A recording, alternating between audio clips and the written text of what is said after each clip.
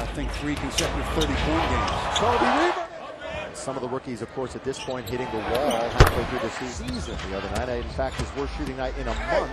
Here's Kobe on himself a little bit in Milwaukee, then down in Houston. He's one of those guys that every double-double. It's a double-double just about every night. Kobe is back in and out, knocks down the three with regularity. Kobe trying to answer back from two. Did I do it? Yeah. Was it my fault? The scoreboard 60-40. Get going. All of the Lakers have to get going offensively. Kobe has been going. Not winning that, and they've fallen behind even further. Kobe base.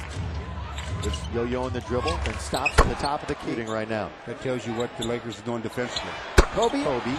Still six and a half to play in the third. He pulls up for a three. Wendell McDonald in for Joel Meyers. Here's Kobe again. Yes. Margin here.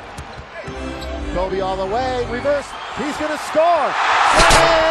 Inserted in the lineup. You mentioned it. Oh, great pass. Kobe alone. Slam. Kobe. Nobody helping right now defensively, so he'll take the 15 on Friday. Filling in tonight. Stu, uh, Stu alongside. Oh! Kept his concentration. Kobe goes straight to the dribble in the lane, laid up. And Kobe with it now. Lakers lead 105-96. Another three. Four away from Elgin Baylor's Laker record.